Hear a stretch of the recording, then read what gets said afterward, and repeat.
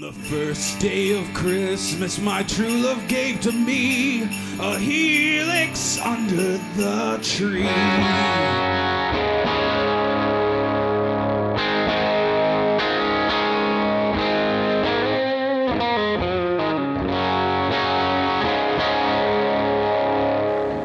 Hey, what's up, everybody? This is Lee Dixon, and this is Third Rock Music Center's 12 Pedals of Christmas.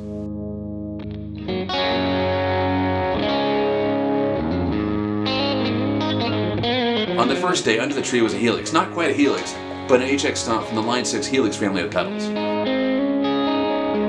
This thing is amazing. You can use it a lot of different ways, but the three main ways that I like to, to talk about are number one, you can use it as an all, as an all-inclusive, standalone rig. Show up to a gig with just this and you'll be just fine. Number two, use it at the end of your existing pedal chain to emulate just an amp. And number three, use it somewhere in your pedal chain. Maybe you want to use it for your modulation effects, your, your choruses, your, your phasers, flangers, things of that nature, uh, or the great delays that are on there. You can use it in a number of ways.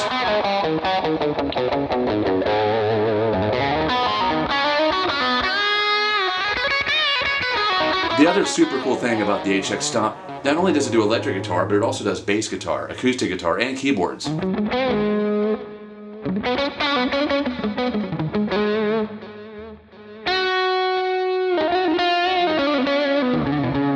That? Oh, a looper? Yeah, that's in there too.